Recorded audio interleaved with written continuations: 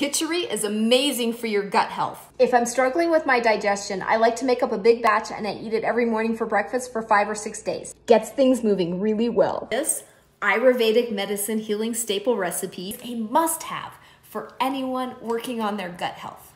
Okay, there is a reason certain recipes have been around for more than 2,000 years. So listen up. And part of what you're gonna love about this is it's super easy to make.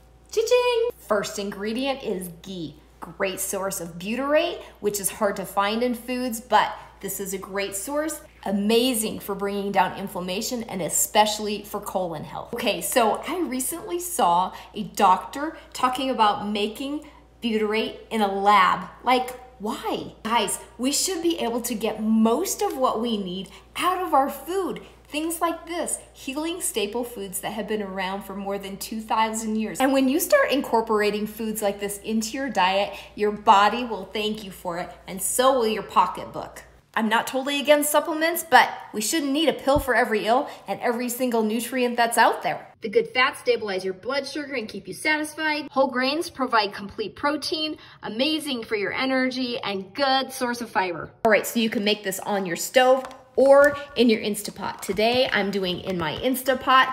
Gonna set that setting to saute. Once my Instapot is hot, I'm gonna add two tablespoons of the golden goodness. We're gonna add our spices. You could use a simple curry powder blend. Today I'm using fresh ginger, a little bit of turmeric, and cinnamon.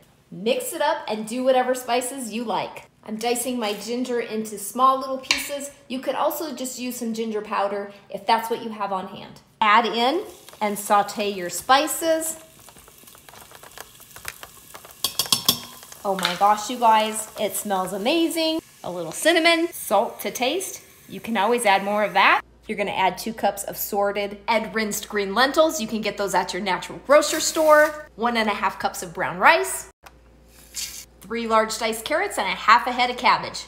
Dice those into bite-sized pieces and add them into your mix. You can add other vegetables if you'd like, but I like to stick with that basic recipe. Add six cups of water and bring to a boil, simmer for 48 hours, or if you're cooking in the Instapot, just hit that multi-grain setting. Once your kitcheri is ready, add a can of coconut milk for extra creaminess. Top your bowl with some cilantro and enjoy your gut healing goodness.